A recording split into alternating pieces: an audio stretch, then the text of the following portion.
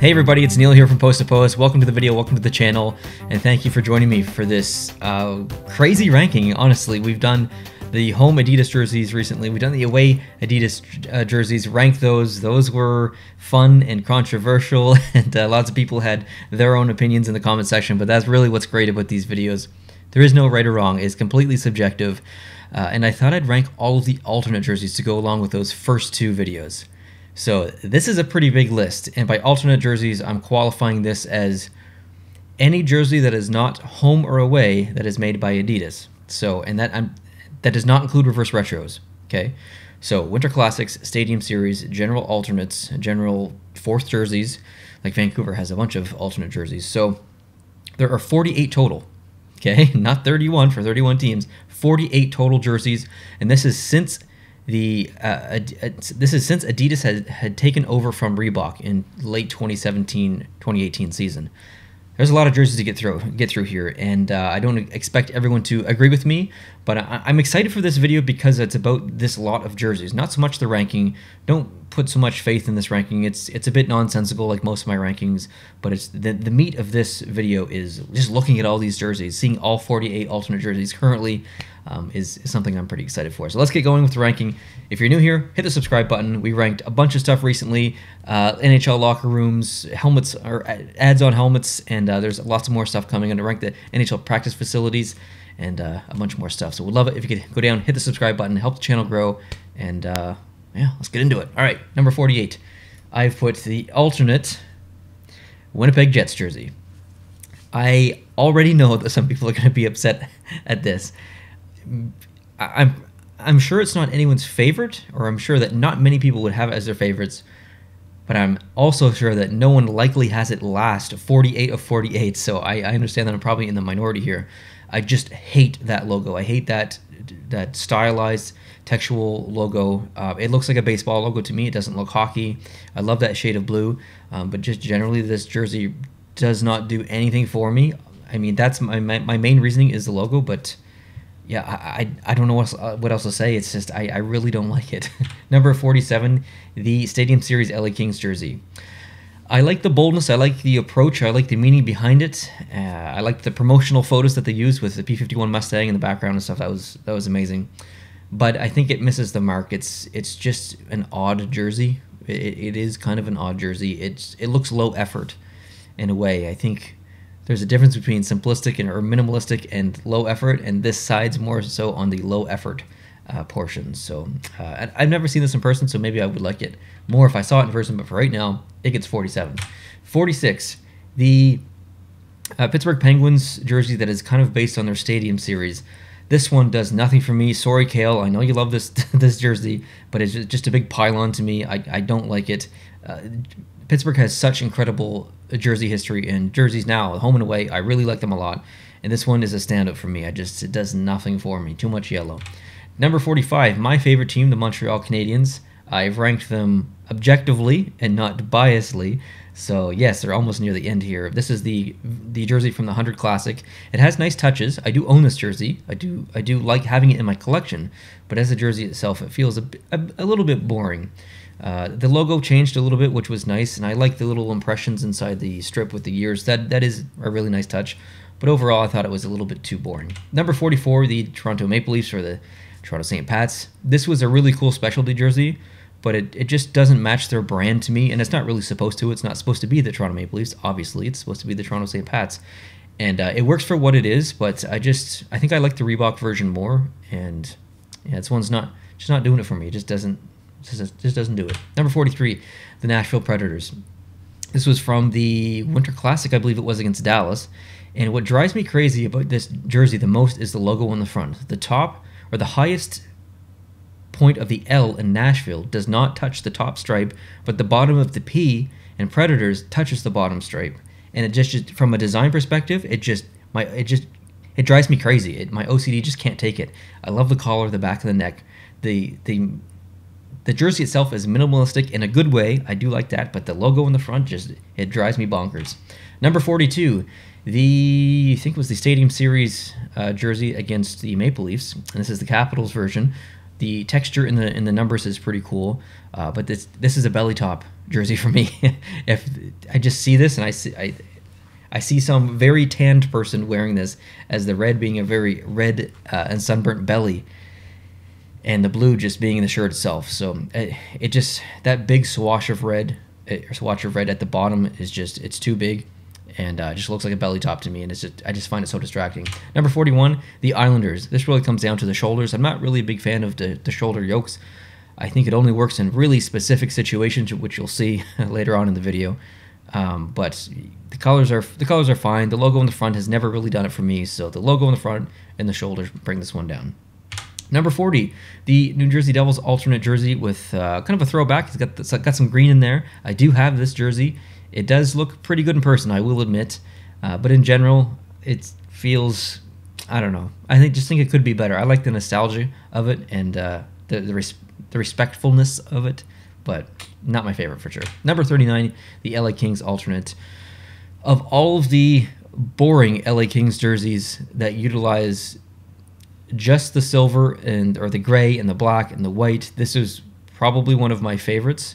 Uh, the other one they use, which you'll see coming up, wasn't really a modern jersey. It's based on an old jersey. But of the modern jerseys, I like this one the most. Um, but it's still not great. I think it's just, by definition, kind of just an average jersey. Number 38, the Stadium Series Philadelphia Flyers. Uh, the two tones, I'm just, I know people are into them and they love them. I find they rarely work for me. I'm just I'm not a fan of this one. I would say kind of like the last one, it's just really a bit of an average jersey for me. Number 37, the Calgary Flames. This one's an this one's odd, okay? So technically this year this is considered an alternate jersey, which was their previous home jersey. So some would argue that this shouldn't be in here, but by definition of alternate jersey, this is this has to be in here. I like the jersey. It is nice. I love the shoulder patches using the provincial state flag or provincial flag, provincial flag on the shoulder and then the uh, Canada flag. I like that. I know some people don't, but I do. And uh, I, I've just seen it so much. I mean, I've seen this jersey design for uh, basically a decade or more, so I'm just kind of sick of it, but I still like it, so I put it in the 30s. Number 36, the Tampa Bay Lightning. Gradients. oh, gradients. Sometimes they work, sometimes they don't. I don't really think that this works here in this jersey. I have this jersey. It does look better in person. Uh, I do like the textured little bits in the jersey, but I like the boldness. Like that's that's that's not why it's in the bottom five uh, or the bottom ten. It is it is bold. I appreciate the the, cojones it took to come up with this design and just go for something completely different. I really respect that but overall, I think it's mostly a miss. Number 35, the Vancouver Canucks. I'm sure I'll get some hate for this one, but uh, it's the striping. There's the fact that there's no white striping in any of the any of the arms or the bottom of the jersey, but it is in the neck. I just feel like it's a bit unbalanced, and the green blends in with the blue a little bit too much. And I've never really been a fan of that logo in the middle. Number 34, the Toronto Arenas. So again, another Maple Leafs team, or another Toronto team rather. This one is is very classic, very respectful. The lines going down the arms is something you might see on a jersey, well, you know, close to 100 years ago. It works. There's nothing special about it. Uh, I, uh, there's nothing I really dislike about it. It's just kind of one of those average jerseys. Number 33, the Ottawa Senators 100 Classic uh, that they use against Montreal. Kind of like the Montreal one, they do have some years stitched into the striping, which is really nice, and it's rubberized too in the Adidas uh, in the Adidas one, which is which is great. I used to have this jersey. I don't anymore. It is it is decent, but it's not better than their Heritage Classic. And I think if they had have taken their Heritage Classic in Reebok years and made that into an Adidas, it would have been much better. So the fact that I've seen the Heritage Classic, I know what it looks like. This felt uh, not as superior as that, so I had to rank it a little bit lower. Missed opportunity is probably a good term here. Number 32, the two-tone Edmonton Oilers jersey. I know a lot of people love this, and it does actually look pretty good on the ice. I'm not, I'm not totally blind. I, I can appreciate it uh, from that aspect, but just overall, I, I, I, don't know why it just doesn't, uh, it just doesn't do much for me. Number 31, the Dallas Stars Winter Classic jersey. I will admit fully that this looks very good in person, but uh, again, maybe a missed opportunity here. Instead of coming up with something that was new, like totally new like this, maybe take some uh, classicness. It is a winter classic. Take some classicness from a previous jersey, jersey design, possibly in the 90s, and uh, maybe, you know, sprinkle some modernness on it. So I think this jersey is average. Love the back of the neck, the collar, uh, but again, missed opportunity. Number 30, the Boston Bruins. Kind of went back and forth on this one, and I'm comparing a lot to the white version of this that they use in the Winter Classic. I really see this as the dark version of that, and it is minimalistic. It's simple. It's great. It looks very good in person, but I'm just I'm so almost obsessed with the white one. I love it. Um, that I, I, had to bring this one down a little bit. Number 29, the Colorado Avalanche Stadium Series jersey, uh, a jersey that I actually just recently unboxed on the channel. The design itself is is really cool. I I like it a lot. But that damn logo at the bottom of the logo, you, you guys heard me talk about it in the unboxing video. The change of texture, or material rather, at the bottom of the A uh, into the actual jersey mesh material just drives me crazy. I think it's it's so offensive. It is offend it offends me that it does that, that Adidas did that with this jersey. But overall, it's a really unique jersey and it's pretty cool. Number 28, the Chicago Blackhawks uh, Winter Classic jersey that they used against the Boston Bruins. This is my favorite Boston, or this is my favorite Chicago Blackhawks jersey uh, in Adidas. It is, it, it kind of goes against my general opinion of jerseys. I'm not really a fan of teams just using black and white, but I love how nostalgic this is. It feels super classic. It feels like an original six jersey because that's what it's supposed to look like. Um, it's just it's respectful. It's minimalistic. It is perfect in my opinion. Wouldn't change a thing. Number 27, this crazy jersey, this crazy Dallas green uh, lime jersey. And when I first did this ranking, I did this prior to the season starting. And then when I saw the jerseys on the ice of them actually using these, I'm like, okay, this is a ridiculous jersey, but it's so ridiculous that I need to bump it up my list some because I, I gotta I gotta give them props. I gotta give them respect.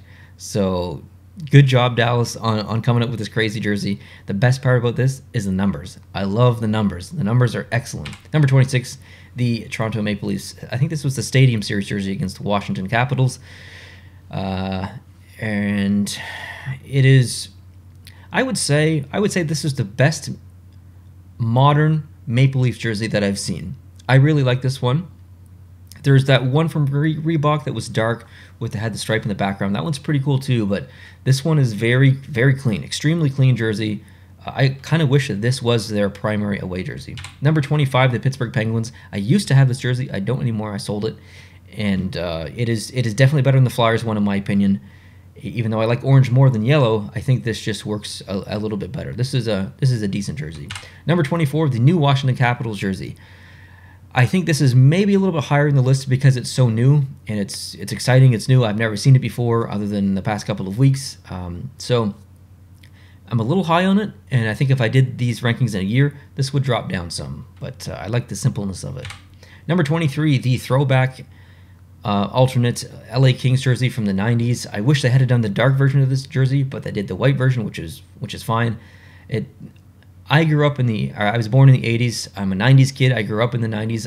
This is what I remember watching the LA Kings wear. So I, for nostalgia reasons alone, I had to rank it up a little bit higher in my list here. And uh, I do have this jersey. Shout out to Kyle. Number 22, the San Jose Sharks 30th anniversary jersey. Again, kind of a nostalgia feel here. I, I like the classic jerseys, and I know not a lot of people do. They prefer the newer, the modern ones, and sometimes I do too. But I also like the throwback ones. So I, missed opportunity because he didn't do with the white San Jose, but still, decent job. 21. This absolutely crazy, ridiculous Bank, uh, Vegas Golden Knights jersey. I, I have this. It is itchy to wear. It, it definitely is. It looks silly under light because it's Sparkle City, but it is amazing. Like it, it, it's incredible that it literally exists. Like this is something that someone will come up with as a concept and be like, "Whoa, I'm I'm just gonna come up with something outlandish and just make it." But then Vegas made it, and it and it exists and it's real, and I have it in my closet back there, right behind me. Um, I it's I love it and I hate it at the same time. So it's one of those jerseys. Number twenty, the Columbus Blue Jackets uh, alternate jersey. This one has gone up my list definitely. It's one I would like to own in the future. Um, I thought about buying it um, about a year ago, didn't happen. And the more I look at it, the more I, I, I really appreciate it for what it is. I like the off white color. I like the cannon on there. I obviously like the cannon. Um, and it's just, it feels very classic, even though the Blue Jackets aren't really a classic team. They're one of the, the newest teams in the league. So maybe it doesn't totally match their brand, but it, man, it looks good. Uh, number 19, the Anaheim Ducks throwback jersey. Yes. Uh, shout out to Jared for sending this one in. I really like this jersey in my collection. I like the deep, subtle purple that's in the in the front of the neck there, and then the stripe along the bottom. Very underrated jersey in the NHL. I hope that the Anaheim Ducks continue with this brand and make something similar to this, but uh, maybe just a little bit better. Number 18, the Carolina Hurricanes alternate jersey. Love the blacked out or the kind of grayscale or monochrome uh, patches on the shoulders. That was a really nice touch. I prefer this logo, their secondary logo, versus their primary logo. This is a really nice jersey. I'm just not super sold on the texture within the stripes. I think it looks like wood grain or something, and I think that is a, just a slight miss, a slight miss. Number 17, another Anaheim Ducks jersey. From pictures, this looks um, kind of average, but seeing this in person, I don't have it, but I've seen it in person. It looks so much better so much better in person. It, the pictures do not do it justice. I fully plan to get this in the future sometime. Um, very underrated jersey. Number 16, the Hartford Whalers, aka the Carolina Hurricanes. Thank you, Carolina, for coming out with the Hartford Whalers jersey. I do not have this. I thought about it. It is, again, ranked mostly on nostalgia. Number 15, the Washington Capitals alternate jersey. And I know that people are going to be upset because most people don't like this jersey. Kale. But I really like it. it again, I, I don't want to sound like a broken record, but it brings me back to kind of my childhood and and makes me think about when I was a kid watching hockey growing up, and they would wear similar jerseys to this, and uh, it just honestly like I've got hockey cards with the old school jersey like this from from way back in the day, so it just makes me think about good times. Number 14, the San Jose Sharks stealth jersey. Very underrated jersey. It is it is when I bought this jersey, I, I committed fully because it was the first hand stitched jersey in my collection. I'm like, you know what? This is the ultimate jersey. This is a be all end all jersey for San Jose. It's different, it's new, it's modern, it looks really good. I'm going to pay the extra money to get an, uh, a name, Timo Meier, uh, put it on the jersey, and it is one of my favorite jerseys in my collection. It's not the prettiest, it's not the most outlandish, it's not uh, it's not the most flashy, but it's clean, it's respectful, and it looks damn good on the ice. Number 13, the, the Edmonton Oilers alternate. So th- this is what I wish their home would be. I wish their alternate was actually the orange one. I prefer the old school vibes of this one more, with blue being their primary color instead of orange. Number 12, the wow, the, the Rangers. This is a, a criminally underrated jersey, and I'm so angry at myself for not getting it when it came out. I, I didn't really like it when it came out. But the more I looked at it over time, it is so good. I love the striping that's pulled from their away jersey right here. The Rangers just being huge on there, and then that the crest right there, man, it's so good. Number 11, the Kachina jersey. This isn't a nice jersey. It is it is just amazing because it's the Kachina jersey. Like it is just it is what it is. It's busy. It it doesn't really match that well, but it is 100% unique, and I really appreciate the Arizona Coyotes going almost full time with this. Heck yeah.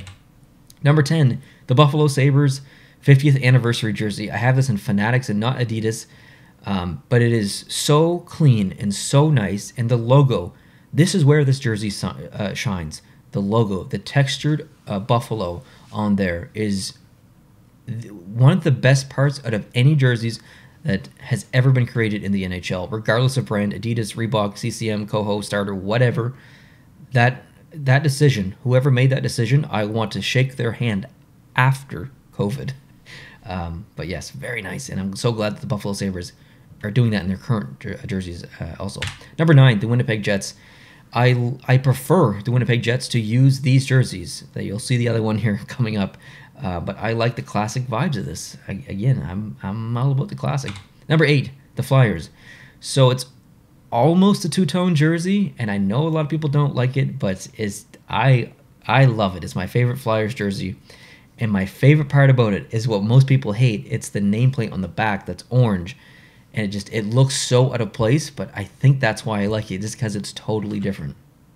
Number seven, the St. Louis Blues alternate throwback to the 90s. I think a lot of people are going to be upset with me here too, because uh, I the of all the St. Louis fans I know, the majority of them aren't really that high on this jersey. I would say that I think it's maybe average or less than average, um, but I think it's I think it's one of their best, like ever, ever. So heck yeah. Number six, the St. Louis Blues alternate that is based on the Reebok Winter Classic. This is technically my favorite St. Louis Blues jersey. It had it's it's everything that it needs to be. It's based on the Winter Classic. It looks classic. They nailed that part. Using the off-white, using a logo with some texture, some felt texture. The colors are perfect. It is simple. Nice uh, uh, a little touch there to the St. Louis flag in the back. Um, it is it is the perfect St. Louis Blues jersey. It looks modern but original at the same time. Um, I love it. Number five, another super criminally underrated jersey, the Buffalo Sabres. Uh, I think it was the Winter Classic. This was against the Rangers, I believe, which we just saw earlier. Again, uh, this this was a really good indication of the direction that the Buffalo Sabres were going to go. We didn't know until years later, but we're, we're, we're back. We're back, baby. Royal Blue, Buffalo Sabres, home and away. They're amazing. And this was kind of a test, I think, to the market to see what Buffalo Sabres fans uh, thought of this. So good job, Buffalo. Criminally underrated uh, jersey. Number four, the Boston Bruins white Winter Classic jersey, the one that I'm basically obsessed with. I'm a Canadiens fan. I shouldn't like this jersey. I don't like those colors together, but I think there's just something about this jersey that speaks original six, 100 years ago. Um, it, it is ugly, but it is so, it feels significant. It feels historic, it, respectful. It's got a felt on the logo. It's just, it's so different than their entire other lineup. Um, I just I love the decision here, and at the collar just being that classic kind of more like sweater. I call them jerseys. Some people call them sweaters. A sweater to me is is uh, is a jersey that uses a collar like this. That's more of a, an old school kind of look. So I would, even though this is technically a jersey, I would probably call this a sweater. If that makes sense. That's my logic. It's not supposed to make sense, but it does in my head. Number three, the Vancouver skate jersey.